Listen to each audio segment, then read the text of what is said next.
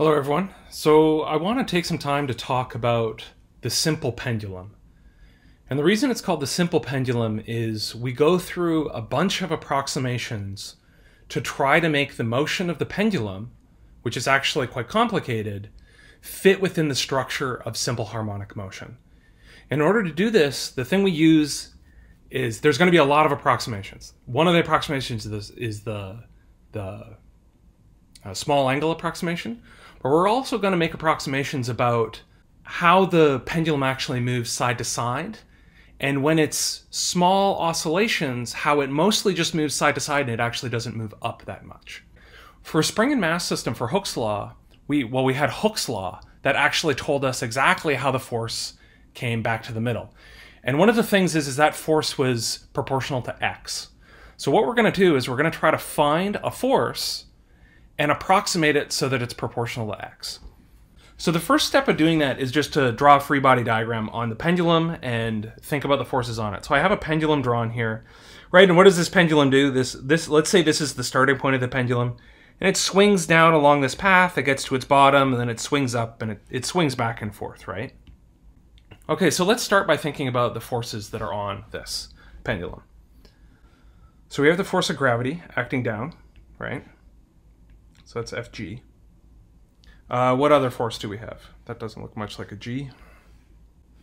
Um, we have a tension force that is acting up along the rope.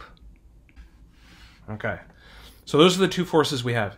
And we're going to make an observation here. So the observation is, is that the net force, if this is at the top of its of its swing, the net force must be in this direction, right? Because that's the way the pendulum wants to go, right? Perpendicular to t. The the the mass wants to go that way, so F net must be that way, right?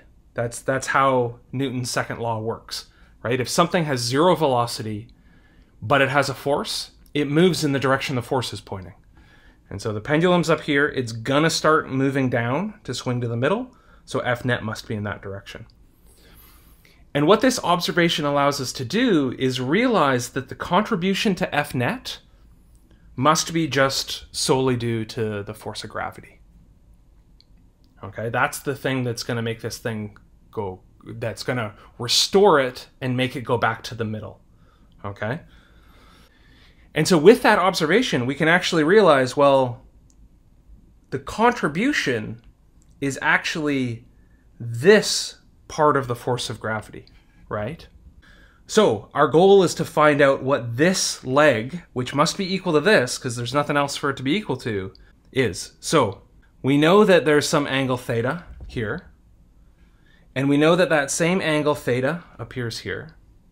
So it must mean that the force of gravity, which is equal to mg, it must mean that this component is mg sine theta, right? Opposite over hypotenuse. So the thing we can write down is F net is equal to mg sine theta. So we have our we have our first sort of step. We haven't done any approximations yet.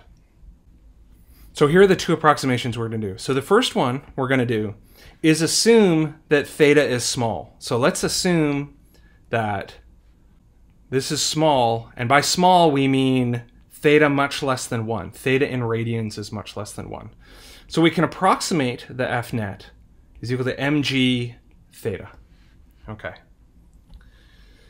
The second approximation comes with thinking about the motion of this pendulum right? If theta is small, the pendulum doesn't actually go up and down that much for when it goes side to side, right? Like it should just go up a little for how far it moves to the side. So the thing we're going to imagine is, well, imagine all the motion of the pendulum is just confined to some x direction.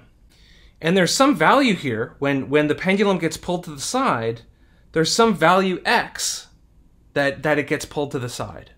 And when it doesn't go up that much, it means that we can almost approximate all of these forces as just being in this plane, right? Like if theta is small, it means that these angles aren't that big, and it means that everything is pretty much along this purple line. So to state that, we're going to say, well, F net is actually approximately equal to Fx, just the force in the x direction. And this is equal to mg theta. Okay.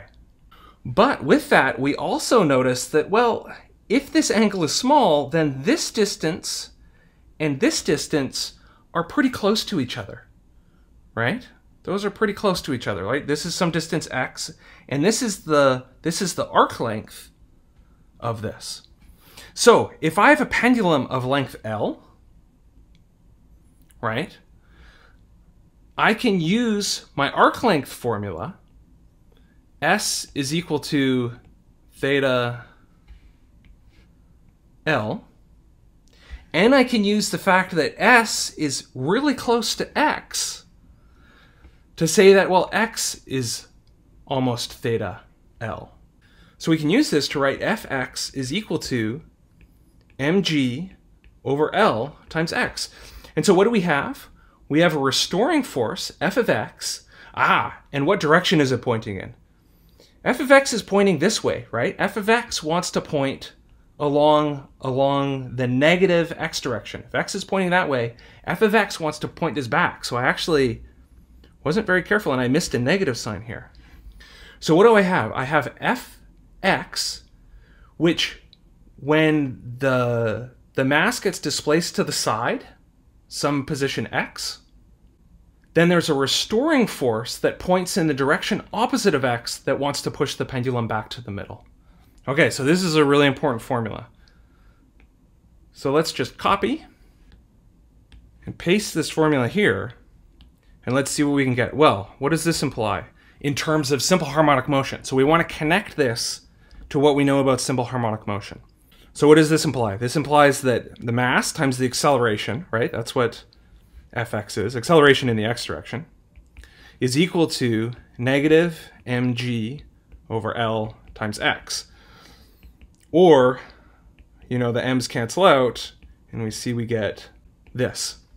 Well, compare this to simple harmonic motion. Remember, from simple harmonic motion, we have the acceleration in the x direction is equal to negative omega squared times x, right? The position. And so this implies that omega is equal to the square root of g over L for these pendulum systems. So this is this is how to attach the physics of the pendulum to simple harmonic motion. But you notice in order to get here we had to make a bunch of approximations. What were those approximations? We had to assume that it was a small angle. And along with that small angle, we had to assume that the arc motion, S, was actually the same as the horizontal motion, X. The arc motion S is the same as X. And that all of these forces were just happening in the X direction. And you can see that if the angle were small, right? If it were small, then all these forces would just be acting like that right? What I've drawn here isn't really the small angle approximation because I had to I had to make it big so you could see. But there were a bunch of approximations that went into it. Um, so there's a small angle approximation, then the realization that x will equal to x. Okay. So the last thing I want to do is actually connect the motion of the pendulum to the equation we've been using for simple harmonic motion. So I've drawn the pendulum again, and what we know is that this pendulum goes back and forth like this, right? Just going back and forth swinging. And what I want to do is I want to map that back and forth swinging onto the picture that we have for a cosine and simple harmonic motion. So remember this is our x of t. It's tough to write sideways. And remember we turn our head to look at this. And so what do we have? We have the oscillation starting here so as we go back and forth and the angle is small, it's described by this cosine. So we have x of t is equal to a cosine omega t plus phi. There can still be a phi. And the difference is, is that our omega is now the square root of g over L. And we can do all of the same things with this that we did when we had this mathematical description. I should say that this description only holds for the simple pendulum, where we've made all of these approximations about the motion. The real pendulum is a little more complicated.